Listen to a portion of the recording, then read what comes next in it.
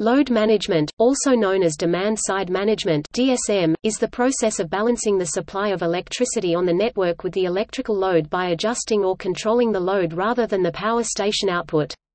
This can be achieved by direct intervention of the utility in real time, by the use of frequency-sensitive relays triggering the circuit breakers ripple control, by time clocks, or by using special tariffs to influence consumer behavior. Load management allows utilities to reduce demand for electricity during peak usage times peak shaving, which can, in turn, reduce costs by eliminating the need for peaking power plants. In addition, some peaking power plants can take more than an hour to bring online which makes load management even more critical should a plant go offline unexpectedly for example. Load management can also help reduce harmful emissions, since peaking plants or backup generators are often dirtier and less efficient than base load power plants. New load management technologies are constantly under development both by private industry and public entities.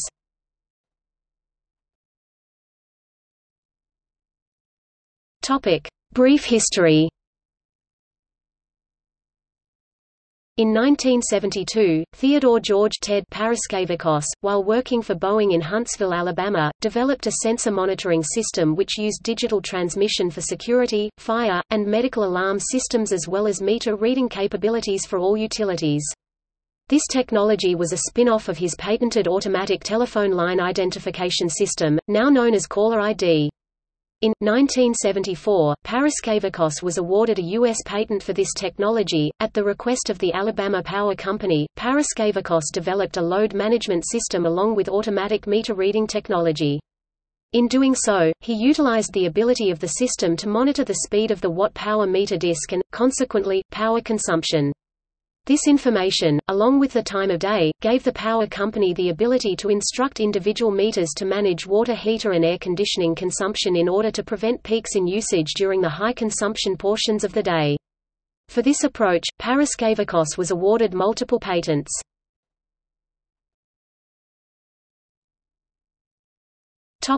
Advantages and operating principles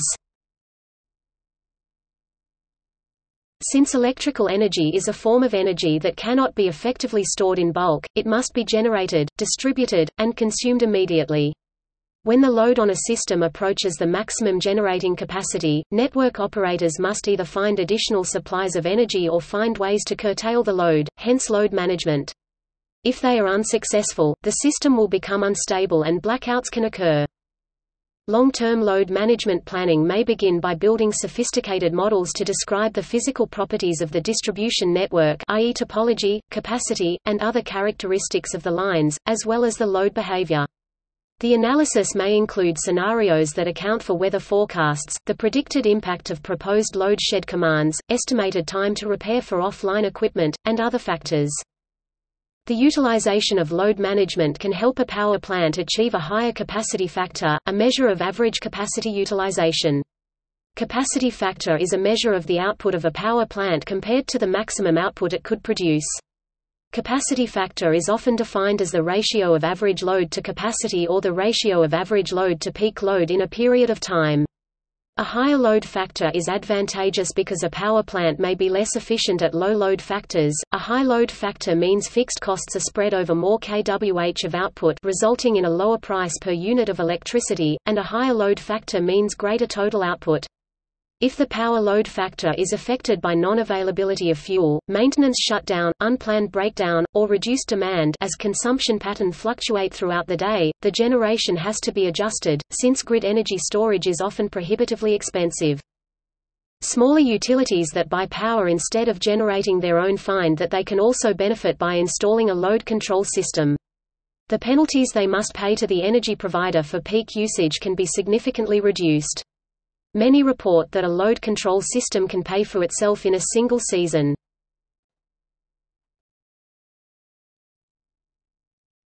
Topic: Comparisons to demand response. When the decision is made to curtail load, it is done so on the basis of system reliability. The utility in a sense, owns the switch and sheds loads only when the stability or reliability of the electrical distribution system is threatened. The utility being in the business of generating, transporting, and delivering electricity will not disrupt their business process without due cause. Load management, when done properly, is non-invasive, and imposes no hardship on the consumer. The load should be shifted to off-peak hours. Demand response places the on-off switch in the hands of the consumer using devices such as a smart grid-controlled load control switch. While many residential consumers pay a flat rate for electricity year-round, the utilities costs actually vary constantly, depending on demand, the distribution network, and composition of the company's electricity generation portfolio. In a free market, the wholesale price of energy varies widely throughout the day. Demand response programs such as those enabled by smart grids attempt to incentivize the consumer to limit usage based upon cost concerns. As costs rise during the day as the system reaches peak capacity and more expensive peaking power plants are used, a free market economy should allow the price to rise. A corresponding drop in demand for the commodity should meet a fall in price. While this works for predictable shortages, many crises develop within seconds due to unforeseen equipment failures. They must be resolved in the same time frame in order to avoid a power blackout.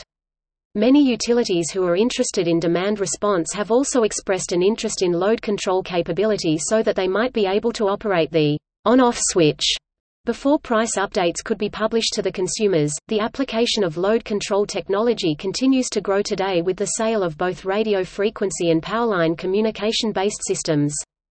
Certain types of smart meter systems can also serve as load control systems. Charge control systems can prevent the recharging of electric vehicles during peak hours.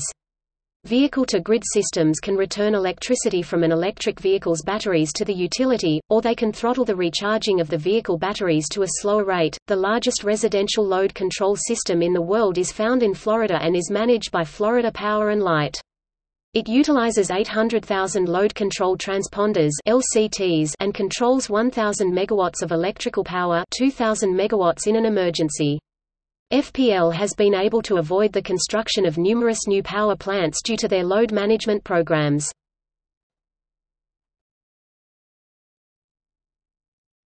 Topic: Ripple control.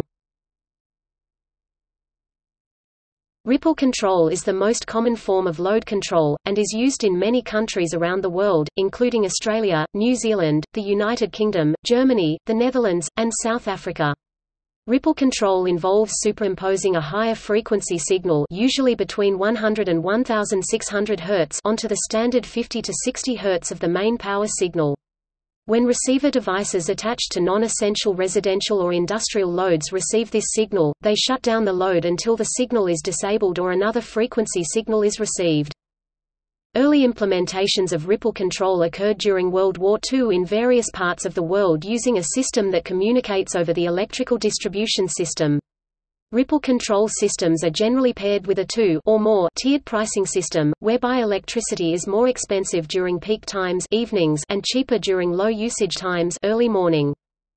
Affected residential devices will vary by region, but may include residential electric hot water heaters, air conditioners, pool pumps, or crop irrigation pumps. In a distribution network outfitted with load control, these devices are outfitted with communicating controllers that can run a program that limits the duty cycle of the equipment under control. Consumers are usually rewarded for participating in the load control program by paying a reduced rate for energy.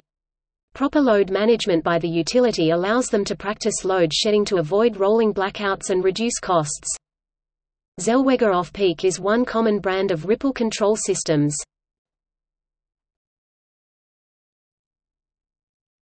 Topic: Frequency-based decentralized demand control. Greater loads physically slow the rotors of a grid's synchronized generators. This causes AC mains to have a slightly reduced frequency when a grid is heavily loaded. The reduced frequency is immediately sensible across the entire grid. Inexpensive local electronics can easily and precisely measure mains frequencies and turn off sheddable loads. In some cases, this feature is nearly free, e.g. if the controlling equipment such as an electric power meter, or the thermostat in an air conditioning system already has a microcontroller. Most electronic electric power meters internally measure frequency, and require only demand control relays to turn off equipment. In other equipment, often the only needed extra equipment is a resistor divider to sense the mains cycle and a Schmitt trigger a small integrated circuit so the microcontroller's digital input can sense a reliable fast digital edge. A Schmitt trigger is already standard equipment on many microcontrollers. The main advantage over ripple control is greater customer convenience. Unreceived ripple control telegrams can cause a water heater to remain off, causing a cold shower. Or, they can cause an air conditioner to remain off, resulting in a sweltering home. In contrast, as the grid recovers, its frequency naturally rises to normal, so frequency-controlled load control automatically enables water heaters, air conditioners and other comfort equipment. The cost of equipment can be less, and there are no concerns about overlapping or unreached ripple control regions, misreceived codes, transmitter power, etc.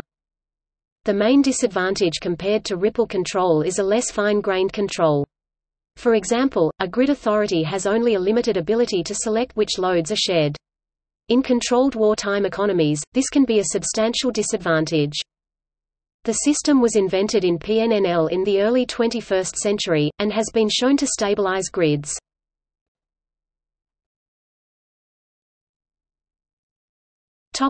Examples of schemes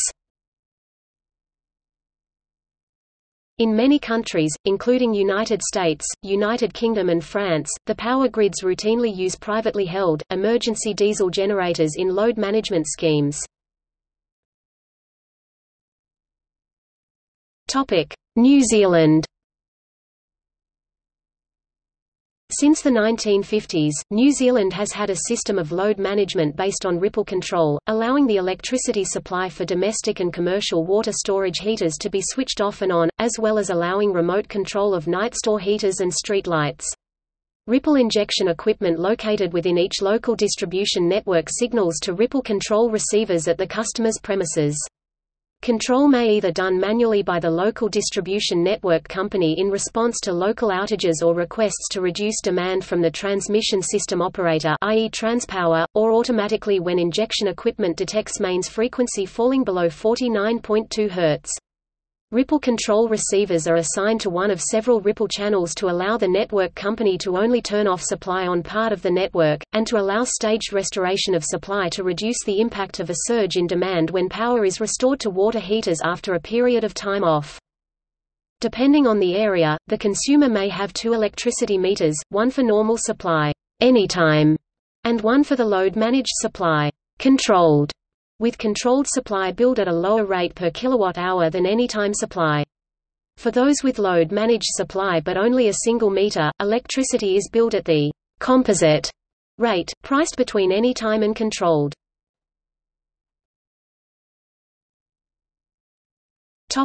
France France has an EJP tariff, which allows it to disconnect certain loads and to encourage consumers to disconnect certain loads. This tariff is no longer available for new clients as of July 2009. The Tempo tariff also includes different types of days with different prices, but has been discontinued for new clients as well as of July 2009. Reduced prices during nighttime are available for customers for a higher monthly fee.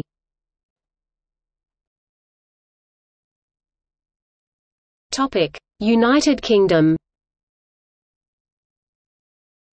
RLTEC in the UK in 2009 reported that domestic refrigerators are being sold fitted with their dynamic load response systems. In 2011 it was announced that the Sainsbury's supermarket chain will use dynamic demand technology on their heating and ventilation equipment. In the UK, night storage heaters are used to increase the load by about 5 gigawatts to accommodate the nuclear program.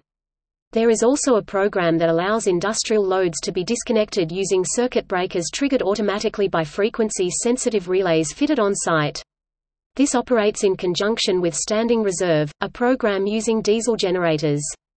These can also be remotely switched using BBC Radio 4 longwave radio teleswitch. SP Transmission deployed dynamic load management scheme in Dumfries and Galloway area using real-time monitoring of embedded generation and disconnecting them, should an overload being detected on transmission network.